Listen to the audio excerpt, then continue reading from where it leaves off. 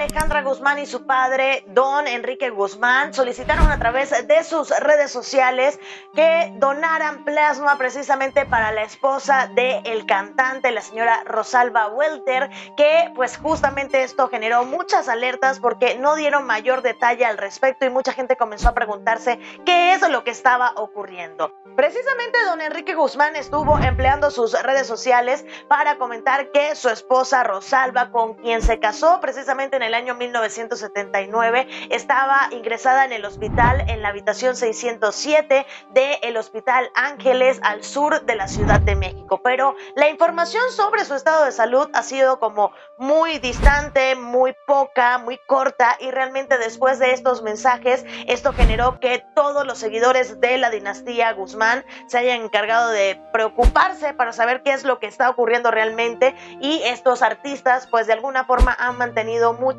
hermetismo en esta situación. Sin embargo, justamente la periodista Mónica Castañeda estuvo hablando en el programa Ventaneando y estuvo revelando que ella se había encargado de platicar con la hija de doña Rosalba y que había obtenido pues un poco de información al respecto donde pues le había dicho que su madre padecía de lo que se conoce como anemia e insuficiencia de hierro. Afortunadamente su hija Dani ya nos platicó que le están realizando estudios para saber a qué se debe esta anemia. Precisamente allí en ese programa la conductora siguió contando un poco más de los detalles acerca de la hospitalización de la esposa de don Enrique Guzmán. Ayer por la mañana para internarse en el hospital y no había sangre de este tipo. Y también agregó que aunque lograron conseguir las personas que donaran plasma y que atendieran este caso, esta llamada que hicieron los Guzmán, eh, y se lo administraron también a Rosalba, pues su estado de salud realmente no es el mejor. Utilizarla, pero todavía toda la mañana estuvo muy mal en el hospital. Y es que justamente la pareja del cantante tiene un diagnóstico algo complicado, se conoce como enfermedad pulmonar obstructiva.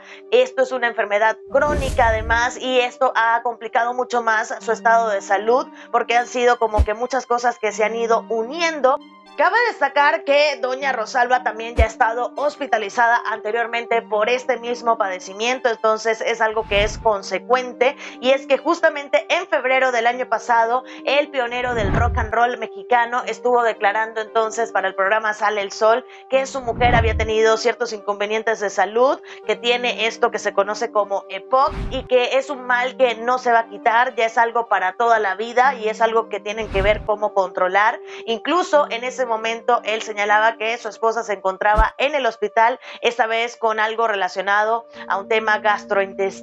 Así que bueno, esperamos que se recupere muy pronto y que logren salir adelante con esta enfermedad, que sepan cómo controlársela, cómo manejar los próximos años de vida que ella pueda tener. Así que bueno, esperamos que se mejore muy pronto y enviamos muchas bendiciones para la familia Guzmán, para que puedan salir adelante con este caso, que le den la mejor calidad de vida, que puedan saber sobrellevar esta enfermedad que como les mencioné ya es para toda la vida y que puedan pues salir muy pronto de esta Dejen sus comentarios y no olviden suscribirse a nuestro canal, también nos pueden ubicar en Facebook como Famous Close Up.